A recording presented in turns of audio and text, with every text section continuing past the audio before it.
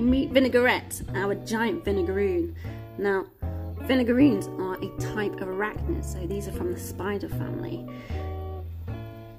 These originate from Arizona and they get the name vinaigrette by the smell they produce, so they can squirt a type of acid called acetic acid from their abdomen, which sounds pretty awful but smells quite nice. Um, so pass the chips.